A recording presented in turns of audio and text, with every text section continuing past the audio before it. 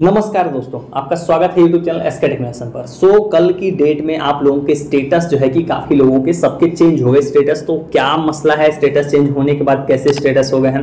उसके बाद क्या छात्रवृत्ति आएगी या नहीं आएगी तो कुछ नया तो कल हुआ नहीं देखो स्टेटस बदलना ये तो तय था लेकिन पैसा नहीं आना ये तो तय था स्टेटस भी कल बदल के वही चीज़ को दिखा है जो मैं आपको इस चैनल पर लगातार आज के एक महीने से आपको बताता आ रहा था ओबीसी जनरल और माइनॉरिटी के लिए। तो इस चैनल पर आप लोग को ट्रस्ट बनाए रखना होगा जो चीज़ मैं बताता हूँ अपनी रिसर्च और नॉलेज से बताता हूँ। तो जो मैंने आपको ऑलरेडी बताया था, कल वही चीज़ आप लोग को प्रूफ हो गई कि हाँ सर ने सही बताया था। देखो, वही चीज़ हुई है। अब स्टेटस बदल गया, ऐसे में एस सी के लिए क्या अपडेट है? उनके लिए बड़ी अच्छी अपडेट है। एस सी वाले ज़रूर देखें।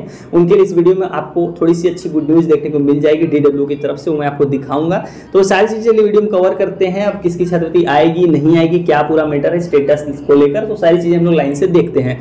उससे पहले चैनल को सब्सक्राइब कर लीजिए। सारे लोग अब तो आपको इस चैनल पर ट्रस्ट हो ही गया होगा, जो मैंने चीज़ें बताई, आपको सारी सही निकली। आप मुझे सपोर्ट करने के लिए आप एटलीस्ट आप में से ही मैं एक लड़का हूँ तो आप मुझे चैनल को सब्सक्राइब करके सपोर्ट भी अपना दिखा सकते हो।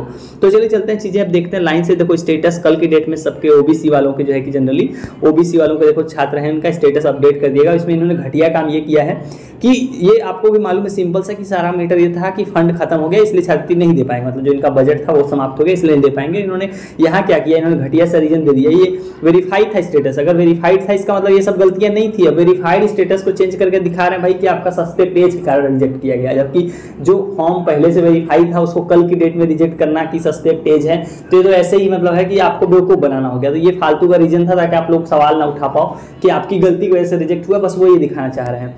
उसी तरह एक और आपको स्टेटस दिखाता हूँ। ये देखो, इस तरह से लिखा हुआ है तो बिल्कुल सही लिखा है। मतलब इसमें देखो, यहाँ लिख दिया है भाई कि आपका जो है कि स्कॉलरशिप इसलिए दिया जा सकता क्योंकि जो है कि फंड है जो इनका समाप्त हो गया यहाँ लिखा है ना अनअवेलेबिलिटी ऑफ़ फंड मतलब पैसे की कमी कारण जो उनका बजट है वो समाप्त हो गया है। इस कारण आपको पैसा नहीं दिया गया। ये तो ठीक लिखा हुआ लेकिन बहुत लोगों में ऐसा किया गया कि देखो, यहाँ पर देखो, अब इनकी देखो क्या हुआ वेरीफाइड स्टेटस को इन्होंने चेंज करके लिख दिया कि डीबीडब्ल्यू के रिकमेंडेड मतलब उनका मिसमैच था, जो मार्क्स था, वो फिफ्टी से कम था। ये सारे कारणों कारण आपका रिजेक्ट किया जा रहा है। जबकि ये स्टेटस पहले वेरीफाइड था। अगर पहले सही था तो अब कल कैसे रिजेक्ट हो सकता है? और ये मतलब ये कुल मिला के वो करना चाह रहे हैं कि आप पे गलती डाल देना ताकि आपको ये ना लगे कि फंड की कमी का पैसा नहीं मिला। आपको ये लगना चाहिए कि आपकी गलती, आपका मार्क कम है, ये सब कम है। इसलिए स्टेटस दिखा रहे हैं। तो बहुत ही गलत हुआ कल की डेट में। तो ये कुछ नया नहीं हुआ। मैंने आप लोगों को अभी पिछली वीडियो में बताया था। उसकी लगभग मैं काफ़ी वीडियो में आपको बताता रहा हूँ कि ओबीसी जनरल माइनॉरिटी ये बहुत टाइम से आप लोग को रिपीट करता रहा था कि अब छात्रवृत्ति नहीं आएगी। आप लोग टाइम अपना वेस्ट मत कीजिए वीडियोज़ में और इन चीज़ों में। पढ़ाई लिखाई कीजिए। मैंने आपको ऑलरेडी बता दिया था क्योंकि जो इनका बजट था वो समाप्त हो चुका था आप लोगों के लिए एक दो महीने पहले ही। तो इनका नहीं आना था तय था, वो कल जब स्टेटस चेंज हो गया तो वो आपको प्रूव भी हो गया कि हाँ जो मैंने बताया था कुछ चीज़ें, वो सही निकली। तो ये तो हो गया ओबीसी जनरल माइनॉरिटी का। अब बात कर लेते हैं एस सी का। तो एस सी वालों के स्टेटस अभी भी वेरीफाई रिकमेंडेड है, उनमें से शायद ही किसी का चेंज हुआ होगा। उनका इसलिए वेरीफाई रिकमेंडेड है क्योंकि उनकी छात्रवृत्ति आनी है, इस चैनल पे आपको मैं कभी टाइम से बताता आ रहा हूँ। डेट नहीं अभी आई है कोई, कब आएगी क्योंकि डेट बारह जून बीत गई, लेकिन अभी कुछ आपको एक इन्फॉर्मेशन अच्छी चीज़ दिखा देता हूँ कि मैं क्यों बोल रहा था। कि आएगी, वो डीडब्ल्यू अधिकारी का भी रिप्लाई देख लीजिए। एक छात्र हैं एस कैटेगरी के, उन्होंने मुझे भेजा है।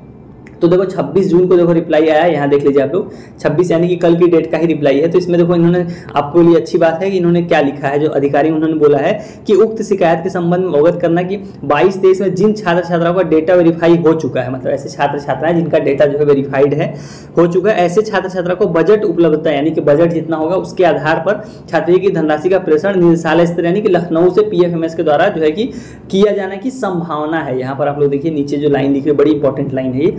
संभावना है। मतलब जो एससी वाले हैं एस सी वाले छात्र हैं, उनके लिए देखो मैं ये चीज़ मैं बताता रहा हूँ काफ़ी टाइम से कि छात्रवृत्ति तो देंगे, कब देंगे इसका नहीं पता। ये जो डी अधिकारी देखो इनको भी नहीं पता कि कब देंगे, लेकिन संभावना है कि दी जाएगी। देखो यहाँ लिखा है ना कि किए जाने की संभावना है, यहाँ पर आप लोग पढ़ सकते हो। तो संभावना का मतलब कि देंगे, लेकिन उनको भी नहीं पता कि कब देंगे। अब ये क्या चल रहा है इंटरनल ये कोई नहीं बता सकता, पर डेट का कुछ अभी भी क्लियर नहीं है कब आएगी। लेकिन हाँ आएगी ज़रूर, क्योंकि आप लोगों के लिए पोर्टल खोला गया था, आपके लिए सर्कुलर निकाला गया था तो वो आपका अलग फंड होता है और यहाँ पर एक बड़ी कंफ्यूजन लोगों में आ जाएगा। तो फंड जो है कि मैं, अगर आप पिछली वीडियोस फॉलो करते हो तो मैंने बताया भी आपको कि हर विभाग का, हर वर्ग का जो है कि फंड अलग अलग होता है। जनरल के लिए कुछ अपना अपना करोड़ है 500 करोड़ 700 करोड़। एस सी वालों के लिए उनके कैटेगरी के लिए अपना गवर्नमेंट अलग देती है। ओबीसी वालों के लिए अलग था, कुछ पंद्रह सोलह करोड़, मुझे एग्जैक्ट अमाउंट नहीं पता, तेरह सौ करोड़ था। तो वो अमाउंट से ही आपको दिया जाता है। तो आपके अगर, जैसे ओबीसी के अगर बोल लेना बजट खत्म गया तो ओबीसी को जितना पैसा अलॉट किया गया था, बारह करोड़, पंद्रह करोड़, उतना सबको दे दिया गया, वो खत्म हो गया। गए तो जितने लोग बच गए वो रह गए। और परसेंटेज क्राइटेरिया तो ये बनाते ही है, कोई बासठ दशमलव दो ज़ीरो या तीन ज़ीरो इस बार बनाया था ओबीसी के लिए। तो ये सारी चीज़ें हो गई एस सी की छात्रवृत्ति आएगी, ये बात मतलब बोल्ड लाइन में आप समझ लो कि आएगी, कब आएगी, ये मत पूछना, क्योंकि उसकी कोई डेट नहीं आई है, समाज कल्याण अधिकारी को भी वो डेट नहीं मालूम है।